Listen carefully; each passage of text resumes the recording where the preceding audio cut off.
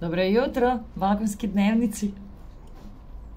Sunce i Venera su jučer krenuli u kvadrat sa Plutonom, znači oni su sad tu unutra nekoliko dana dok ne uđu u škorpiona, što znači stare traume, stare neriješene stvari vezane za odnose što poslovne, što privatne, sad izlaze van i to hoće biti malo bljak ali oni imaju trigon sa Marsom i e, Mars daje egzekuciju. Mars uvijek pita, e, halo gazda, što ćemo napraviti sad?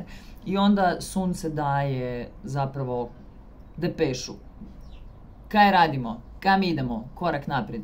Mars u blizancima ne može sad baš najbolje reagirati, zato jer on ima malo smetalo, ima e, Neptuna koji mu ovako drži dimnu zavjesu ispred e, glave i onda on hoće lupat u prazno dok ne pogodi šta je, inače pogodi od prve.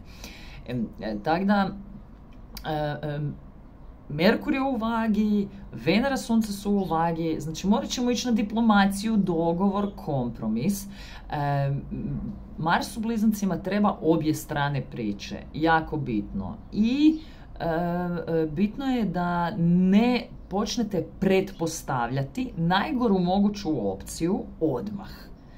Znači da vam ne izlete ti strahovi van. E, Merkur je u trigonu sa Saturnom isto tako, e, što će dati jednu ozbiljnost pristupu svemu. Dajte probajte to iskoristiti, imamo dva lijepa trigona.